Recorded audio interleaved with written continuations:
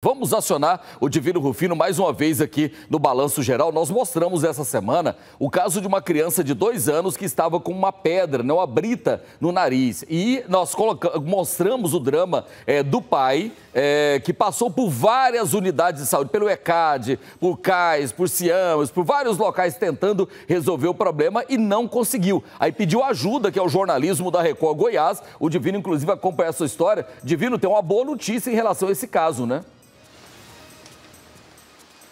Ótima notícia, Loares. A gente teve na casa da família na segunda-feira, né, contando o caso do João Miguel, que tem dois anos, e que é recebeu o apelido do pai de Tornado, porque o pai disse que por onde ele passa é um furacãozinho ali, né? No domingo, durante um minuto de descuido, Loares, um minutinho só que o pai deixou de dar atenção ali para o João Miguel, ele foi lá no monte de brita e enfiou uma brita na narina direita. E aí o pai e a mãe saíram aí percorrendo é, Goiânia, região metropolitana, buscando atendimento para o filho. Passaram por quatro unidades de saúde, foram terminar lá no ECAD, no Hospital Estadual da Criança e do Adolescente, e lá eles foram informados que a criança passaria por um procedimento cirúrgico para retirada da brita nessa quinta-feira, hoje.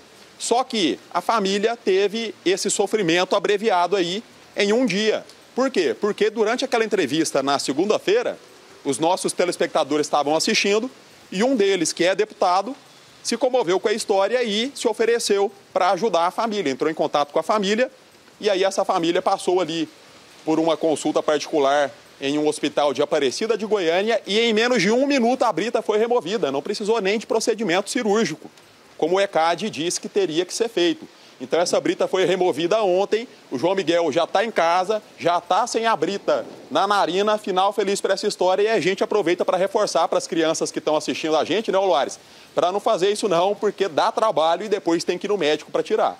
É, e os médicos e os profissionais que atenderam essa criança criar vergonha na cara e parar de preguiça, né? É preguiça, olha aí, não, nem precisou, nem foi uma cirurgia. Foi um procedimento com uma pinça, retirou a pedra e pronto. Passou pelo ECAD, passou pelo CAIS, é, várias unidades de saúde aí e não conseguia. Aliás, eu quero agradecer, muito obrigado a Mila Peixoto, ela e em parceria com o deputado estadual Charles Bento, eles conseguiram, né? Como o deputado, ele é, tem parceria com esse hospital lá de Aparecida, é, o deputado providenciou aí e a pedra foi retirada do nariz desse menino. Porque se dependesse do Sistema Único de Saúde, por onde essa criança passou, estava até agora com essa pedra no nariz. Então, infelizmente, vergonha, né? Para onde. Já pensou, o Yuri? Só, foi só uma pinça ali conseguiu tirar a pedra. Mas no ECAD passaram horas, foi para lá, foi para cá, foi para o Cais de Campinas, foi para. É, é falta de interesse. É, quando eu falo de preguiça de muitos servidores públicos aqui, tem servidor público que não gosta, Divino. Mas na maioria dos casos, o cidadão é mal atendido por preguiça preguiça, por preguiça do servidor público.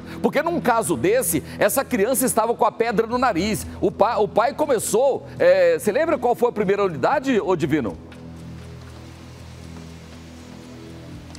Se eu não me engano, ele foi primeiramente no Nova Era, o, o Loares. Foi no Cais, no Cais Nova... Nova... Era. Foi no Cais Nova Era. Aí falaram: não, tem que mandar vocês lá para o ECAD. Foi para o ECAD? Não. Vai para o Cais de Campinas. Vai para o Cais de Campinas? Não tem pediatra. Vamos pra, voltar para o ECAD ou chácara do governador. E foi para lá, para cá. Foram para o Flamboyant depois. É, o AUPA Flamboyant, ou seja, um negócio facinho de resolver. Mas a preguiça, a preguiça de muitos servidores públicos faz isso. Tem órgão público divino que você chega e eu, eu sou especialista em falar você podia olhar para mim, por gentileza? Eu tava tô tentando resolver um probleminha aí, é, num órgão público. Aí você chega lá, o funcionário tá de cabeça baixa te respondendo. Você podia olhar para mim, pelo menos? Larga essa merda desse celular, essa porcaria do celular e olha para mim.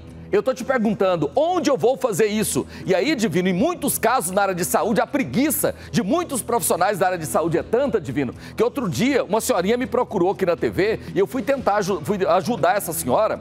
Ah, chegaram no posto de saúde, aí falaram para a senhora o seguinte, ouviu, Divino? A, a senhora tá, vai ser encaminhada é, para fazer um PET scan.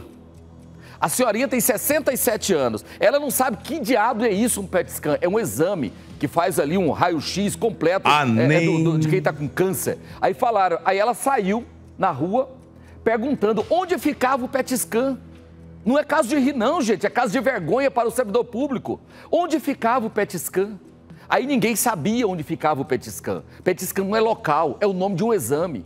Ah, nem. O funcionário público que estava ali, ó, deveria orientar. Minha senhora, a senhora vai ter que ir em tal órgão, PET scan, é um, é, o médico não explicou, o funcionário explicou. Então, a preguiça de muitos servidores públicos é que faz isso aí. Obrigado, É Dino. verdade. Mais uma vez, deputado Charles Bento, obrigado por ter atendido esse caso e ajudado essa criança aí. Obrigado, Divino. É? Já viu, Elias? Não é preguiça. Muitas vezes é preguiça. Tem órgão público aqui nesse país que ainda usa aquelas pastinhas de cartolina. Sabe aquelas cartolinas amarela? A, a amarela não, é meio laranja, né? Até hoje, porque ela caçando processo em pastinha. Para você ver o tanto que esse país está atrasado ainda. Um absurdo, né?